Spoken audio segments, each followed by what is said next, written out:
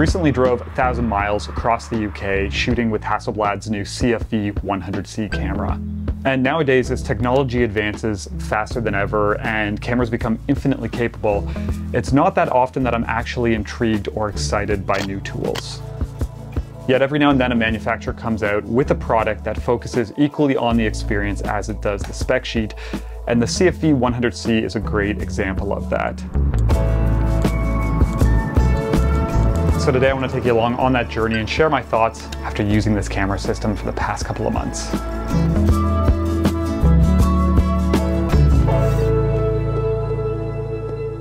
So if you're new to the channel, I shoot regularly with Fuji's GFX system.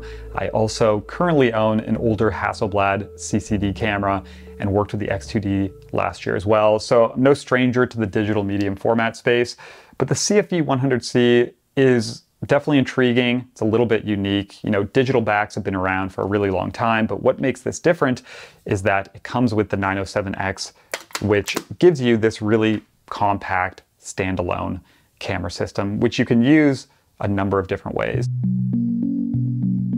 There was a lot of hype when this was announced last month, but I think it's worth mentioning that Hasselblad's been making a 50 megapixel version of this since 2014. So this isn't something entirely new.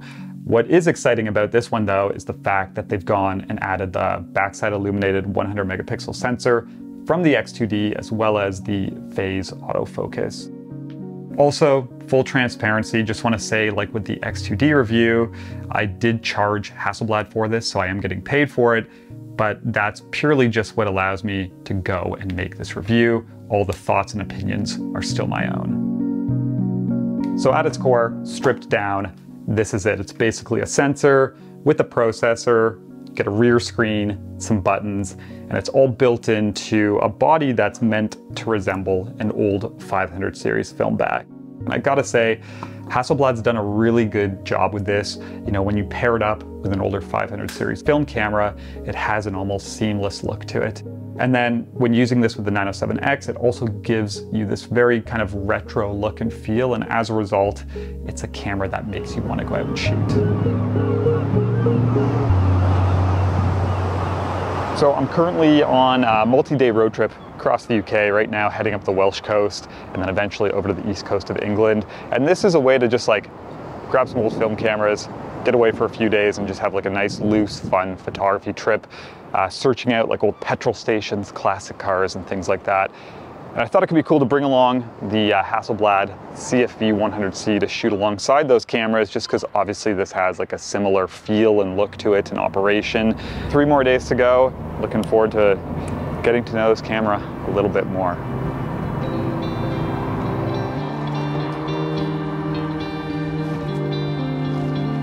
This is so cool here.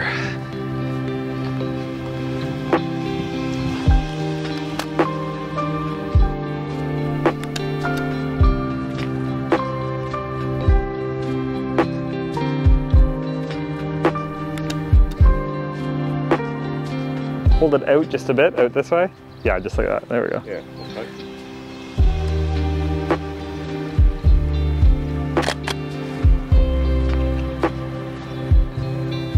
So compared to Hasselblad's X2D, the 907X and CFV 100C come in, I think, around 600 pounds cheaper here in the UK. So there isn't a huge price difference. And obviously with the X2D, you are getting IBIS and you are getting an EVF. But what this camera offers uh, that's a little bit different is flexibility. So you basically get one camera system that you can use a number of different ways. So with the 907X, and XCD lenses, or paired up with a 500 series film body, older V series lenses, or finally using this with a technical camera system. And for this video, we're gonna focus on the first two.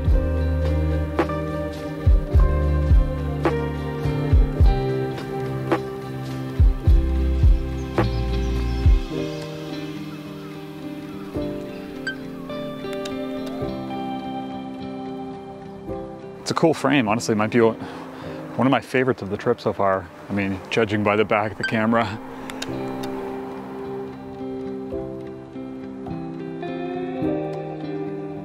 So when you buy the CFV, you get the 907X, which is this small, thin front part here that you simply just clip on. And that all of a sudden gives you an XCD lens mount and a few control dials and buttons. And with this setup, and an XCD lens mounted. You basically just have this really small compact setup and when you flip out the screen at 90 degrees, it does give you some of that feel of using an older film camera with a waist level finder. And then there's also some accessories you can buy. There's a control grip, which I ended up using uh, quite a bit. Gives you a shutter release and a few dials and buttons. And there's also an optical viewfinder that you can buy. Unfortunately, I couldn't get my hands on that. I would loved to try that as well.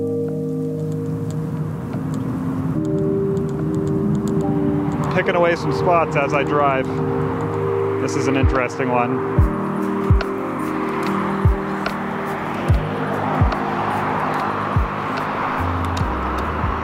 So with the CFV so far, I'd say it's probably been like a 50-50 split in terms of the configurations that I've used. And originally I was most excited about pairing this up with the 500 series body uh, but the 907X obviously gives you a lot more practicality. So it gives you your autofocus, it gives you metering, it gives you your ability to check uh, critical focus.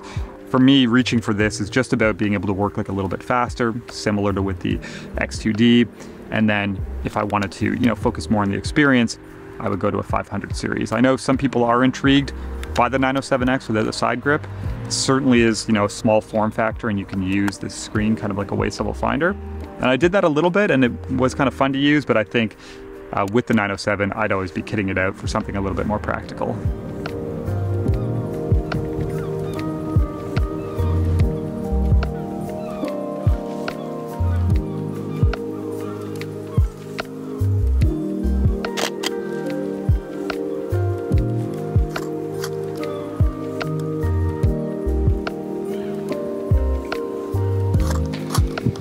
I gotta say, I am definitely happy with that one. It's getting better by the second just with this mist coming in.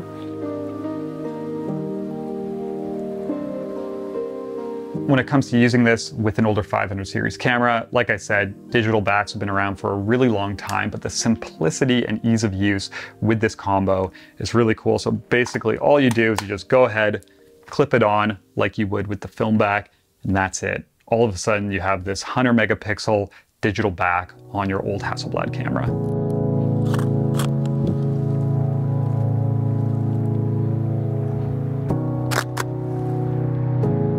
So like I said, pairing it up with the 500 series is what excited me the most when I first got my hands on this. At first, you know, I didn't enjoy it as much as I thought I was going to, but I think a lot of that came down to just like with any new camera, you know, taking some time to get familiar with it and get used to it. And over just even the past couple days, I've started to warm up to this quite a bit. Obviously, this strips things right back, so you lose your ability to uh, meter. Also, live view really isn't a thing anymore. You can keep the lens on bulb mode and just hold it open. I found it a little bit too finicky. And then also, you know, this is a 6x6 film camera and we're dealing with a cropped medium format sensor. So when you look through the waist level finder, it's quite a small area compared to what you've been used to. So it's not the exact same experience. But, you know, that being said, it still is a lot of fun. And for me, again, it just comes back to this like multi-purpose angle with the CFV. I wouldn't want this to be like my only way to shoot with this uh, camera system or this back, whatever you want to call it. But the fact that you could use a 907 when you want a little bit more practicality and then you could throw it on a body like this if you wanted to go out and just shoot a little bit slower, that is a really appealing angle for me.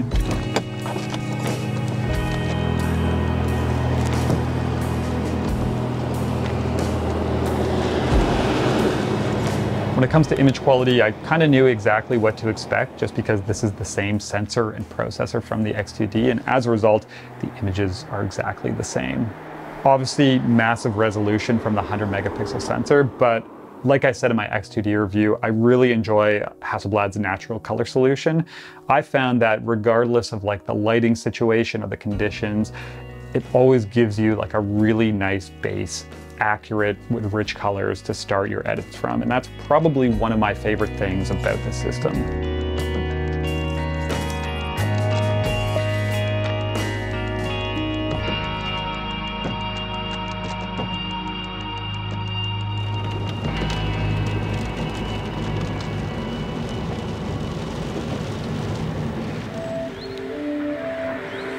When it comes to lenses, for the 907X, I used one lens which is Hasselblad's new 38mm f2.5. And this was actually the one that I used the most for that X2D review. Really nice, obviously pretty fast for a medium format lens, and also very compact and lightweight. So it pairs up really nice with the CFV. And optically, you know, as you'd expect, super sharp, really nice colors, overall a nice look from this. But I will point out, like I mentioned before, there is some vignetting that comes with this. So you gotta make sure that you run a lens profile in post, which cleans it up completely, but I'm assuming this has to do just with the design of this and how fast it is. When it comes to the older V series lenses, I also just had one, this uh, Carl Zeiss Distagon CFI 50mm f4. And I was really curious how this was going to compare to the XCD lenses and if it could hold up to the 100 megapixel sensor. And I will say this was uh, noticeably softer, still completely usable, at least, you know, for my preferences, but especially getting out to like the edges and the corners of the frame, I did notice quite a bit of drop off in sharpness. So again, this is all just gonna come down to personal preference and it could even come down to sample quality as well, considering we're dealing with older optics and also not really an ability to check critical focus. So if I were after like ultimate image quality, I'd reach for the XCD glass, but personally, I would still be comfortable using this older V series glass as well.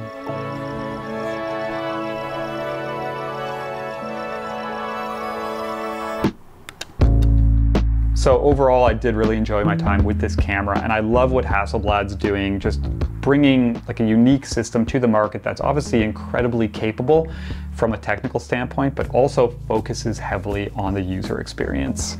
You know, I think if you're looking at both of the Hasselblad 100 megapixel models and you need a camera simply as a tool to get your work done, then for me personally, the X2D would be my choice, just with the EVF and the IBIS, which I did miss at times when working with the CFV. But I think if you're after something that leans a bit more towards the user experience with a slower pace of working, then I think this is a really intriguing option that brings with it some of what I love when I'm shooting with a film camera.